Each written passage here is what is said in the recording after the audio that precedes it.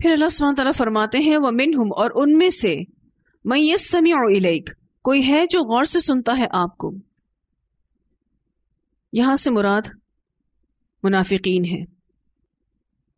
मुनाफिक की पहचान ये बताई जा रही है कि वो एक दीनी और संजीदा महफिल में बज़ाहिर ऐसा लगता है कि वो गौर से सुनते हैं।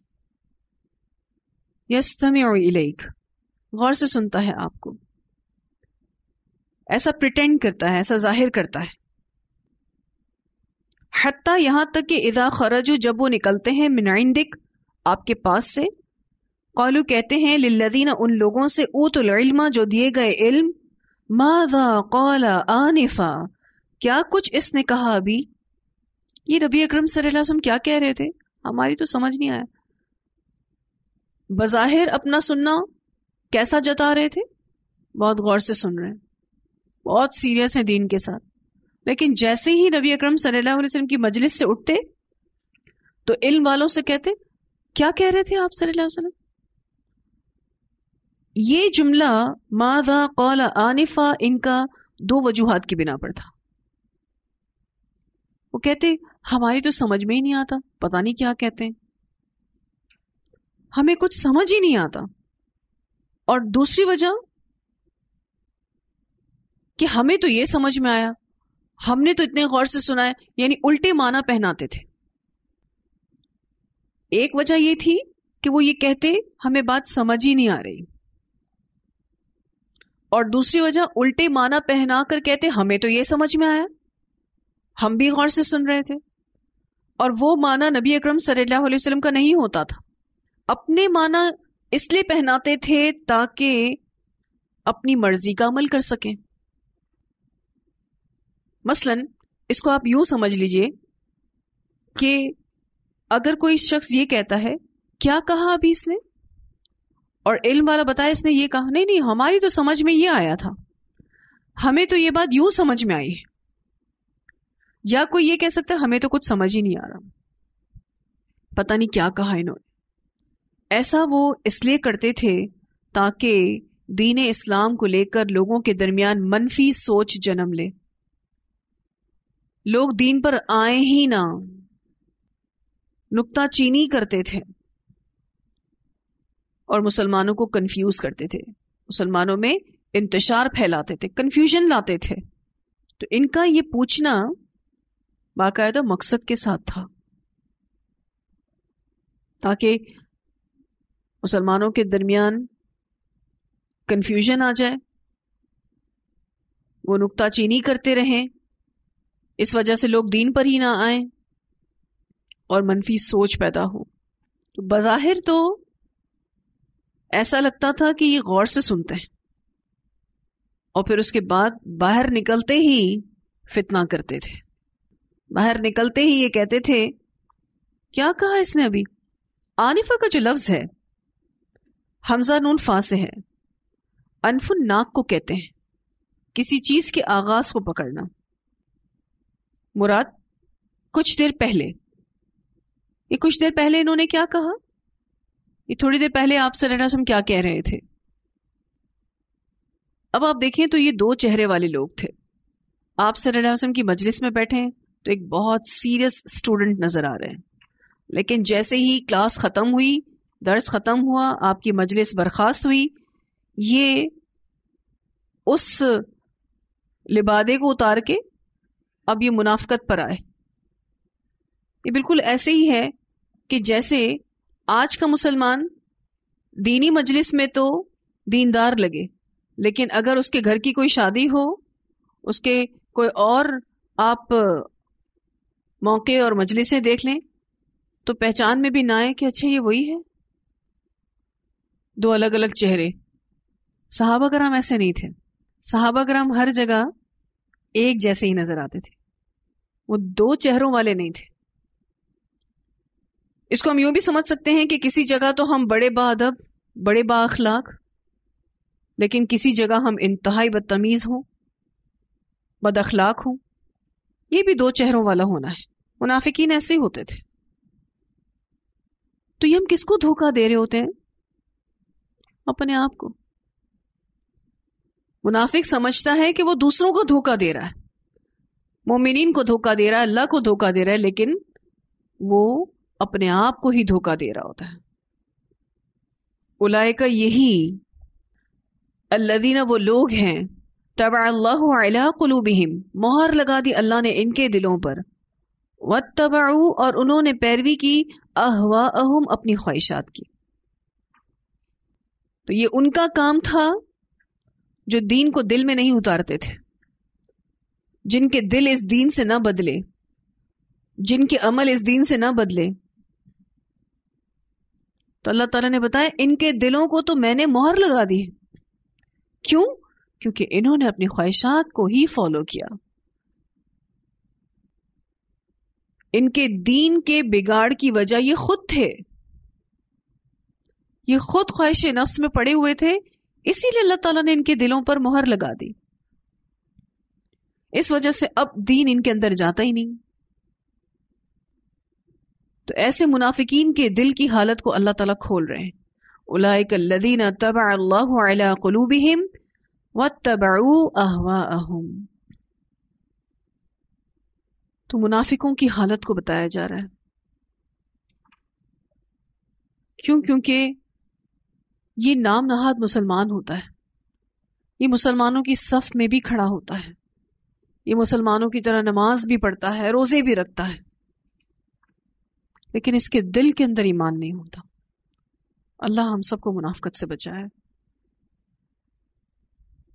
वल्लदी न और वो लोग जिन्होंने हिदायत पाई ज्यादहुम हुदा, उसने ज़्यादा दी उनको हिदायत। व आताहुम, और उसने दिया उनको तकवा हम उनका तकवा तो रसूल सल्लल्लाहु अलैहि वसल्लम की मजलिस से, जहाँ मुनाफिक कुछ नहीं लेकर उठते थे, सिवाय खसारे के, उसके बरक्स मोमिन लोग ऐसे थे, कि वो नबी अकरम सल्लल्लाहु अलैहि वसल्लम से पढ़कर सीख कर अपना तकवा, अपनी हिदायत को और बढ़ा लेते थे। अपने इल्म में इजाफा करके उठते थे। इससे एक और बात भी पता चलती है कि तकवा और हिदायत साथ साथ ही। हैं अल्लाह अल्लाह हमें इन लोगों में शामिल करे कि जिनके बारे में अल्लाह ताला इतनी प्यारी बात कर रहे हैं कि वो लोग जिन्होंने हिदायत पाई, अल्लाह ने उनकी हिदायत को ज़्यादा कर दिया। हिदायत थी तो ज़्यादा हुई ना? इनके पास हिदायत थी, इस वजह से इसमें बढ़ोतरी हुई। और फिर अल्लाह ताला ने उनको उनका तकवा भी अता किया। फहल यंजुरून तो नहीं वो देख रहे, इंतज़ार कर रहे इल्लसा मगर कयामत का। अंतयहुम कि वो आ जाए उनके पास बहुतन अचानक। मुनाफिक इसी बात का इंतज़ार करते हैं कि कयामत आ जाए। क्या इनको कयामत का इंतज़ार है? क्योंकि मुनाफिकीन कब तक दुनिया में मज़े कर लेंगे? कब तक फ़ायदे उठाएँगे? तो नहीं वो इंतज़ार कर रहे मगर कयामत का कि वो आ जाए उनके पास अचानक। फकत तो तहकीक जा आ, आ चुकी अशरातुहा उसकी अलामत। कयामत की अलामत तो आना शुरू हो चुकी है। बुखारी की रिवायत में आता है कि आप सल्लल्लाहु अलैहि वसल्लम ने अपनी शहादत की उंगली और वस्त उंगली की तरफ़ इशारा करते हुए फरमाया कि मैं और क़यामत इतने करीब भेजे गए हैं, जितनी करीब ये दो उंगलियाँ हैं। यानी आप सल्लल्लाहु अलैहि वसल्लम का मबूस होना भी क़यामत की निशानी। फिर रसूल सल्लल्लाहु अलैहि वसल्लम की ही नबूत के दरमियान शक् कमर का जो वाक़ हुआ था, वो भी अलामत क़यामत में से है, चाँद का फटना। फ़कत जा अशरातुहा। तो तहकीक आ चुकी उसकी अलामतें। अशरातुहा का जो लफ्ज है, शीन और तो से है। ऊँट को निशानी लगाकर बेचने के लिए अलग करना। शूरता भी इसी से आता है। पुलिस मैन जो होते हैं, शूरते, वो लफ्ज भी इसी से आता है। उनका भी यूनिफॉर्म होता है जो उनकी पहचान होता है। उनकी अलामत होता है। क़यामत की अलामतें तो आ चुकी हैं। अबू हुरैरा रजील तु से रिवायत है कि आप सल्लल्लाहु अलैहि वसल्लम ने फरमाया, जब माल गनीमत को शख्सी दौलत समझ लिया जाए, अमानत को माल गनीमत समझ लिया जाए, ज़क़़त को तावान समझ लिया जाए इल्म दीन अगराज दुनिया के लिए हासिल किया जाए। मर्द अपनी बीवी की अतात और माँ की नाफरमानी करे। दोस्त को करीब और बाप को दूर कर दे। मस्जिदों में शोर होने लगे और कौम का सरदार उनमें फासिक बदकिरदार और रजील तर हो। शरीर आदमी की इज़्ज़त सिर्फ़ इसलिए करनी पड़े कि वो सताएगा। गाने गाने वालियाँ आम हो जाएँ, आलाते मौसीकी आम हो जाएँ, शराब कसरत से पी जाए। इस उम्मत के आखिरी लोग पिछलों को बुरा भला कहने लगे तो उस वक्त तुम इंतज़ार करो।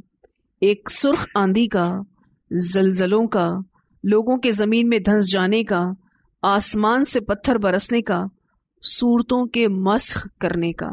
से तुरमीजी ने रिवायत किया है। क़यामत से पहले ये सारी चीज़ें होंगी, जिसमें ये सारी बातें पहली बात माल गनीमत को शख्सी दौलत समझ लिया जाए, और ऐसा हो रहा है। और आप देखें तो अमानत को माल गनीमत समझ के रख लिया जाता है। जक़ात को तावान समझा जाता है, बोझ समझा जाता है। इल्म दीन को अगराज दुनिया के लिए हासिल किया जा रहा है। हालाँकि इल्म दीन किस लिए था? आखरत बनाने के लिए था। मर्द अपनी बीवी की तो अतात कर रहे हैं, लेकिन माँ की नाफरमानी कर रहे हैं। दोस्त को करीब समझा जा रहा है और बाप को दूर समझा जा रहा है। दोस्त अच्छे लगते हैं। बाप अच्छा नहीं लगता। इसी तरह से मस्जिदों में शोर होता है। आप आप देख सकते हैं कि किस तरीके की शोर शगाफ मस्जिदों में है।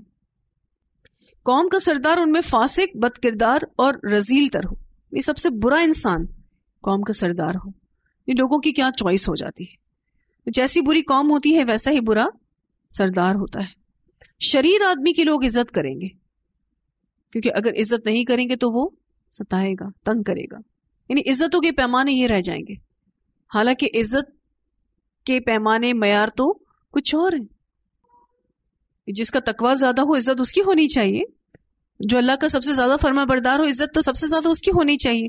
लेकिन इज़्ज़त लोग शरीर लोगों की करेंगे कि नहीं करेंगे तो ये तंग करेगा। और गाने गाने वालियाँ आम हो जाएँगी। देख रहे हैं आप सब। आलात मौसीकी आम हो जाएँगे। दुकानों की दुकानें हैं आलात मौसीकी की पहले ऐसा थोड़ी था कि इस तरीके से महँगे दामों में मौसीकी के आलात बिकते हों। दुकानें क्यों रखी जाती हैं? जब आवाम की तरफ़ से डिमांड होती है और शराब कसरत से पी जाएगी। शायद आप इस बात को इस तरह से ना समझ सकें, लेकिन वाकई ये बात अब हो चुकी है कि शराब आम है। और इस उम्मत के आखिरी लोग पिछलों को बुरा भला कहने लगे। अपनी बुराई नज़र नहीं आएगी, जो गुजर चुके, उनकी बुराई नज़र आएगी। तो फिर इंतज़ार करो। फिर तो आंधियाँ भी आएँगी, जलजले भी आएँगे और ज़मीन में लोग धंसेंगे भी। ये जो जलजलों का कसरत से आना और आंधियों का आना, ये किस बात की अलामत है? कयामत के अलामत में से है।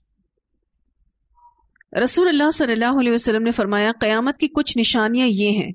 इल्म घट जाएगा, जहालत फैल जाएगी, शराब कसरत से पी जाएगी, जिना आम होगा, औरतें ज़्यादा होंगी और मर्द कम, हत्ता के पचास औरतों का कफील एक मर्द होगा। इसे बुखारी ने रिवायत किया है। एक और रिवायत में आता है, आप सल्लल्लाहु अलैहि वसल्लम ने फरमाया, दीन का इल्म उठ जाएगा। और ये उलमा की सूरत में उठेगा। उलमा फौत कर दिए जाएँगे। दीन का इल्म उठ जाएगा, जहालत और फितने फैल जाएँगे, हर्ज बकसरत होगा।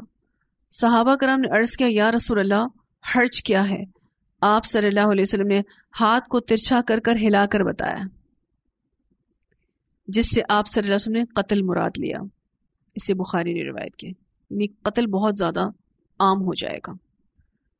तो अल्लाह सुबहान तला फरमाते हैं कि ये मुनाफिकीन क्या क़यामत का इंतज़ार कर रहे हैं?